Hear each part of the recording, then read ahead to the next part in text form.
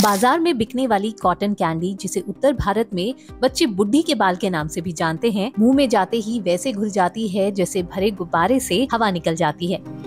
लेकिन यही cotton candy सेहत के लिए बेहद हानिकारक भी हो सकती है, बल्कि इससे कैंसर तक हो सकता है। इसी को देखते हुए तमिलनाडु सरकार ने राज्य में इसकी बिक्री और बनाने दोनों पर बैन लगा दिया है। सरकार ने ऐसा फ़ूड एनालिसिस में कॉटन कैंडी में कैंसर पैदा करने वाले केमिकल की पुष्टि के बाद किया। तमिलनाडु सरकार के स्वास्थ्य मंत्रालय के मुताबिक कॉटन कैंडी के सैंपल फ़ूड सिक्योरिटी डिपार्टमेंट ने टेस्टिंग के लिए भेजे थे, जिसमें कैंसर पैदा करने वाले रोडामाइन बी केमिकल मिलने की बात साफ़ हुई है इसके बाद राज्य में कॉटन कैंडी की बिक्री और इसे बनाने पर रोक लगा दी गई। फ़ूड सेफ्टी स्टैंडर्ड इनेक्टमेंट 2006 के मुताबिक शादी समारोह, सार्वजनिक कार्यक्रमों में रोडामाइन बी मिले खाद्य पदार्थ तैयार करना, पैकेजिंग करना, आयात करना, बेचना या परोसना एक अपराध है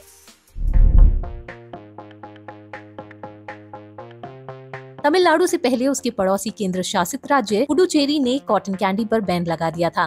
पुडुचेरी ने कॉटन कैंडी में रोडामाइन बी की मौजूदगी पाए जाने के बाद 9 फरवरी को राज्य में इसकी बिक्री पर प्रतिबंध लगाया। हेल्थ एक्सपर्ट्स की माने तो रोडामाइन बी लगातार खाने से एलर्जी, न्यूरोटॉक्सिसिटी, अंग विकास और कैंसर का खतरा बढ़ सकता है।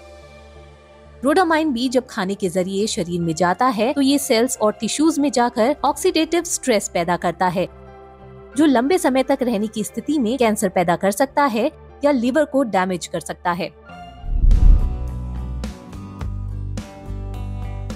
शुरू में कैंडी निर्माता पौधों के रंगों जैसे क्लोरोफिल से हरा कैरोडिटोनॉइड से पीला, नारंगी या लाल और एंथोसाइनिन से नीले रंग का प्रयोग करते थे।